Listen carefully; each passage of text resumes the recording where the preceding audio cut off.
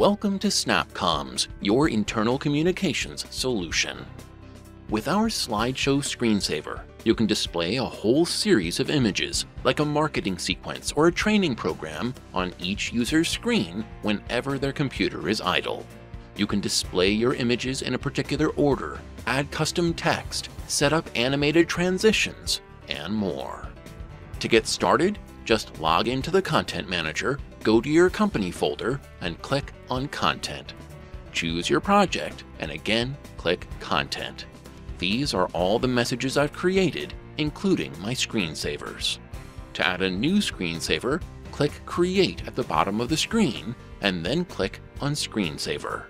Your screensaver's name is how it will appear in your content folder. The description is just for your reference. Now choose Slideshow Screensaver, and again, click Create. Open the Design dropdown at the top of the next page to select a template for your slideshow. By default, each image will be stretched to fill the user's screen. Any photos may be distorted, especially on widescreen monitors. I'll choose Fit Image with Titles instead. Each image will appear in its normal proportions, even if it doesn't fill the screen. And users can also see the title of the slideshow and the title of each image. You may have access to additional designs as well. Next, enter a title for your slideshow and choose whether the title should appear on screen when your slideshow plays or not.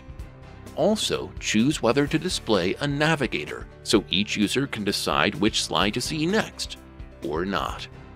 Please note, if your design does not support titles or navigators, they will not appear even if you check these boxes. You can display your slides in a random order or in a set order. And you can use random transitions between images or select a transition for each one. You can also control the length of your transitions and the length of your slides in milliseconds. For instance, 1000 for 1 second transitions and 3500 to display each slide for 3.5 seconds. Finally, open the Scale Mode dropdown and select whether your images should be stretched to fill the available space, which may distort them, or sized to fit the available space, which may leave some space blank. Now, click on Add New Image Slide and identify the first image for your slideshow. Enter a title for your slide Click Browse and upload an image file in JPG or JPEG format up to 4 megabytes.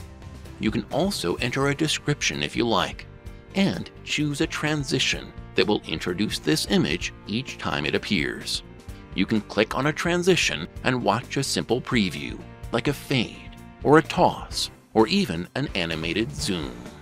Choose the one you want and click Save. You can add as many images as you like. You'll see a thumbnail of each one, along with its title, description, and transition. You can edit these settings, delete an image, or use the arrows to change the order in which your images will appear. Please note, if you chose random order or random transitions above, those settings will override any selections you make here. When you're done, click Save. Now, work your way across the tabs at the top. Choose the date and time when the slideshow should be delivered and when it should expire, the users and groups who should see it, and any advanced options. For instance, how long should SnapComms display your slideshow on each user's computer before moving on to another screensaver? We recommend 30 to 45 seconds per image. I have 5 images, so I'll say 180 seconds. Be sure to save your changes on each tab. When you're done, come back to the main tab and click Preview at the bottom. Adjust any settings as needed, and then click the Publish tab. Review your target dates and target users, and then click Publish to confirm. At the date and time you chose, your slideshow will be delivered to each user's computer. It will appear the next time their system is idle. Depending on your settings, they may see the title of your slideshow, the title of each image, your custom transitions, and a navigator bar where they can select which image to see next. Please note, if you have published any other screensavers to this same user, they will each appear in turn. Thanks for watching. To learn more, please search our knowledge base at support.snapcomms.com or just visit www.snapcomms.com.